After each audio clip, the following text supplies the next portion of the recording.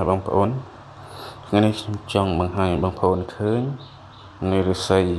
ចម្លែកបាទនេះមិនដឹងថាជាឫស្សីស្របថ្នាំងឫស្សីថ្នាំងតួគ្នាពិតឬក៏មិនពិតទេបាទនេះខ្ញុំចង់បង្ហាញបងប្អូនឃើញបាទឃើញតួគ្នាដល់ទៅ3បាទ បាទនេះគឺជាជំនឿរបស់យើងរៀងរៀងខ្លួនបាទ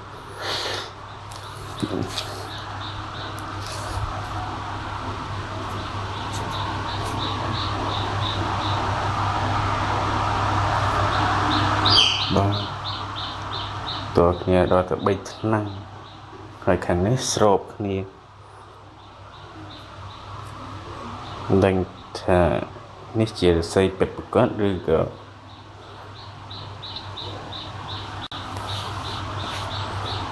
បាទឃើញស្អាតហើយចម្លែក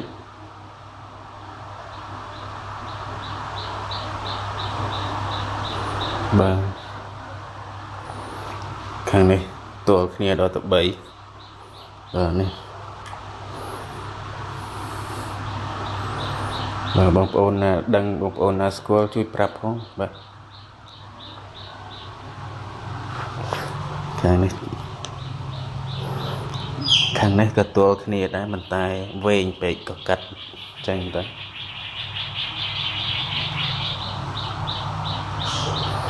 បាទសូមអរគុណសូមជួយ Subscribe ផងដើម្បីបានវីដេអូថ្មីថ្មីបាទ